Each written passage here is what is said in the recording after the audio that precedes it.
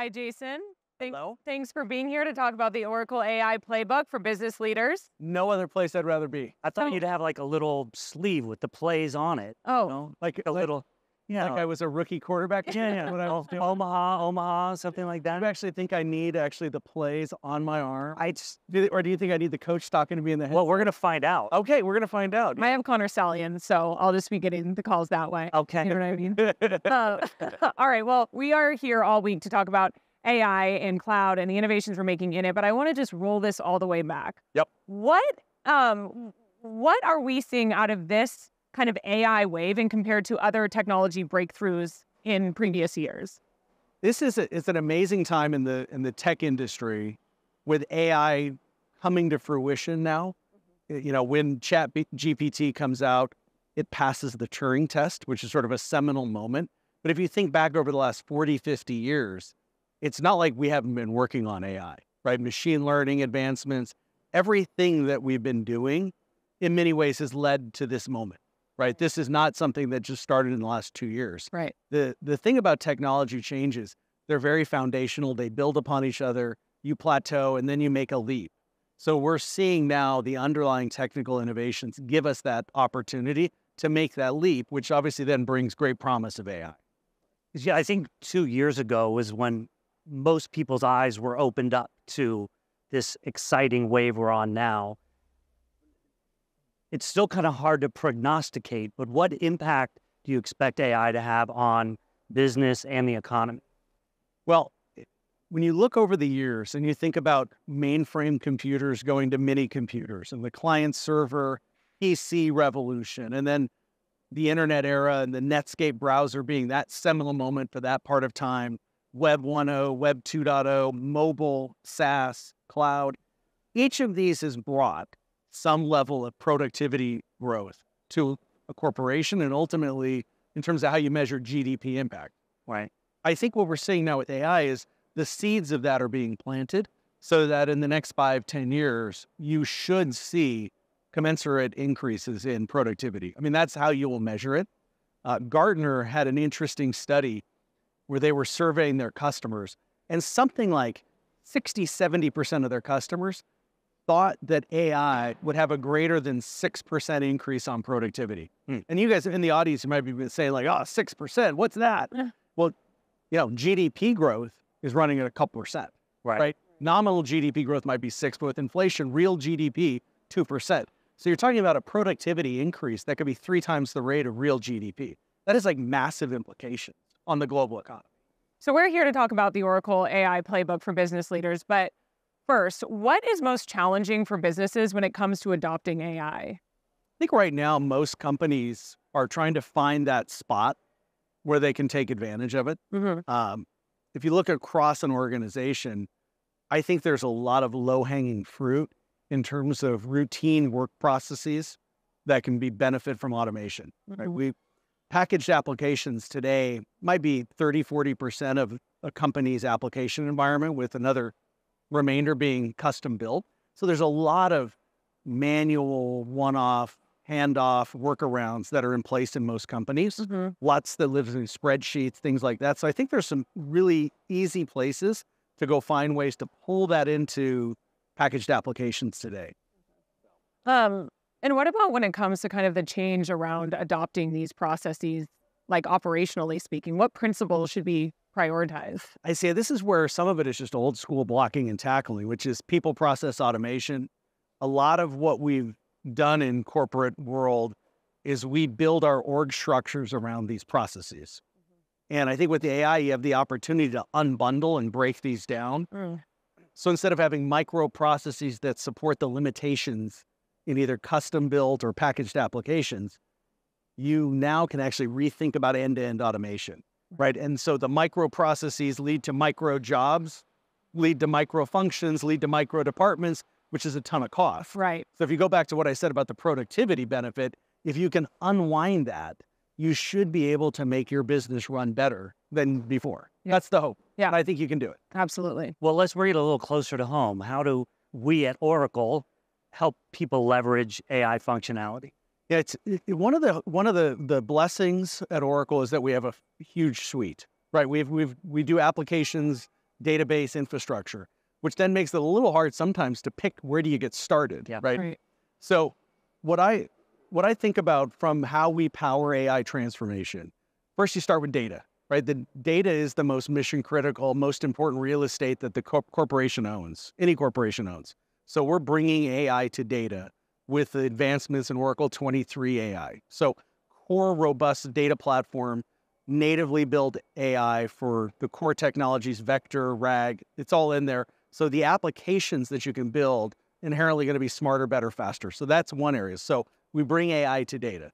The second thing is we are doing some incredible work with Oracle Cloud Infrastructure of infusing AI into the platform, making it part of what we do, and enabling the AI models to run better, faster, cheaper than anyone else on OCI. So we've announced obviously a lot of interesting things with some of the biggest AI companies in the world running natively on, on Oracle Cloud. That's going to continue, but that's a huge piece.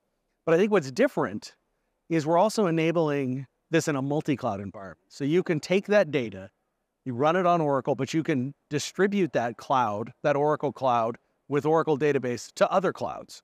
So you can run it obviously within Microsoft Azure data centers. You can run it in Google Cloud data centers. And now you can run it in AWS data centers. Mhm. So now we have the ability to give our customers choice.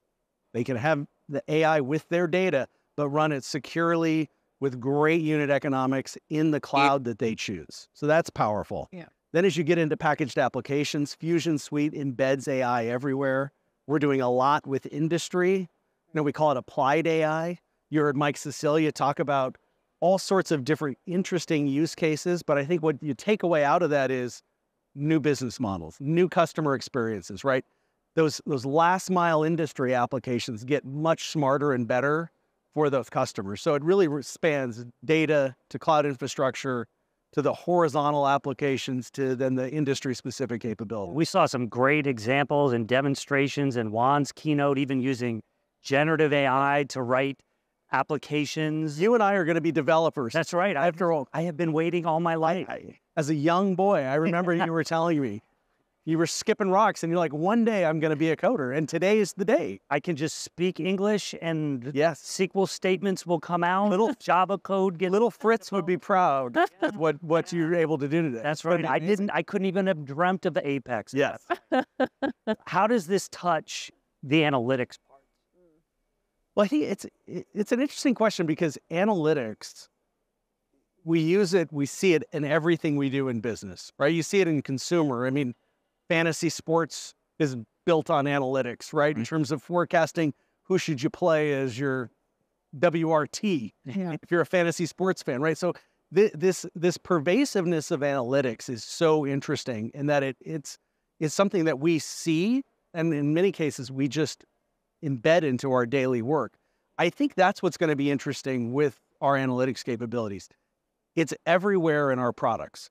It's built into the things we do, and I think you're going to see a shift from analytics being, "Hey, this is what the score was of last quarter," to here's what we think the score will be in the coming quarter if you do these three things and then then you take action on it right so it's a it's a from to of a little bit a little bit more of a reporting and predictive to how do you actually tell the future? How can you how can you use it to make much more informed and intelligent decisions? Right. And I, I mean, I wish that was with me last weekend during the games, but I mean, you can see it in business, being able to predict demand, being able to predict supply. i thought you were talking about being in las vegas Yeah. Being able Oh. being here since sunday at Right, the game right, right. No? I- No. That game, yeah. okay I don't know if you know this, but in between every segment, Kendall runs out and I do. slots. so does oh i thought she went to the sport no okay No, no, no, I'm not sports betting. you I'm made the call in the Right. michigan Yeah, I know, right? Exactly. Uh, That would be. is that why you bet against michigan this weekend good for you Yeah, I did. I did. So you know, we're we're we've got we've got Connor in our back pocket. We're hitting the slots with him, and we're making calls here on Oracle TV, which is great. You're going to alienate all the Michigan fans, by the way. I know. I, it's gonna be so so upset. They're like, no, I didn't. I'm betting against Ohio It's forever. gonna get, it's gonna get worse when they lose to USC in a couple weeks. Exactly. Oh, it's a predictive model. Oh, predictive model. oh, look at that. Wow. Fight on. Um, okay, to bring us back to what we're Oh, talking about, what are some of the most interesting things that you're seeing with AI right now? I I've got two. I'll give you two examples. So one, I really like what we're doing in Fusion in terms of the narrative reporting within the financials. Mhm. As a former Wall Street analyst, I, I can't help but think how cool it is to actually have your your your filing generated from AI Yeah. using the core technology from our OCI team to enable that to happen so you can generate the the narrative around your quarterly performance. Right. I think that's super cool. Very interesting. Um, the second one, I'll, I'll give you a little inside baseballer since we've been using the football I analogy. say. I know. Um, we're using a lot of AI right now internally around account planning to help our sellers become smarter. Mm. How do we help them understand at a particular customer what's the right thing we should be talking about based on what they've used, based on their application usage, maybe based on their data perfor- profile? What should we make a recommendation on? And so we make our sellers smarter. They're more relevant to their customers. They're making ideas and suggestions about things they be they should be doing in their business. And I and without using AI, I don't know how anyone could process that volume of information. So I think those are two very interesting use cases. Absolutely. We touched on this a little bit earlier, but I think in these last couple of years, maybe even longer, it's like, well, how do I get started? What should I do first? What advice, though, in general, do you have for businesses that really want to get the most out of it? Yeah. I, I get, I'll speak for ourselves. I mean, we we look across our business.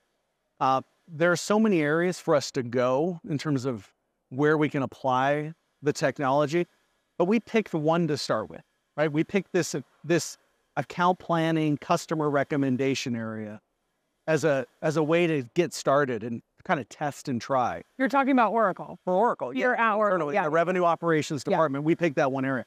I think for every business it's a little different, but the, but the point is find an area or two where you can you can get that low hanging fruit. You can get a small scale thing to get started Right. and get the benefit. Now some of it will be maybe you take advantage of Juan's new generative application development and you build something brand new that you need. That could be one. Maybe it's in Fusion or NetSuite where you say, oh, you know, we used to have this sub process with spreadsheets and we had three people dumping data in. Now it's like voila, it's in the application. Or maybe it's, hey, we we want to try something in hospitality and make a recommendation about some about a product or service when you at time of check-in and you've got to do it in real time and AI can help give you a couple options, right? So there's a lot of different ways to go at this. Yeah. Um, I think it really depends on each individual company, point is try one or two of these things, right? Take it, look across building it, the apps you have, and then some of these what I'll call edge domain cases where you can do something different. Yeah. I mean, Kendall's been taking all of my responses to her, putting them in an LLM so that she just knows What you're what I'm looking going for. to. Yeah. I actually have been doing that with Jason too. Kendall GPT. Yeah, exactly. my my kids ask me all the they're like, Dad, you work for Oracle and you guys are in AI. So they ask me these obscure questions like You have to- as as if I would know that. Which I'm flattered that my kids actually still want to talk to me and ask me these questions. That's so But I'm like, I am not Dad GPT. yeah, Okay. yeah, yeah, But I try. I do my best. yeah. You or you can fake it a little bit. I completely fake it all the. Like, no, I know the answer. Yeah, for sure. Well, thank you so much for joining us, Jason. This has been excellent talking about the Oracle AI playbook for business leaders. So appreciate you coming on.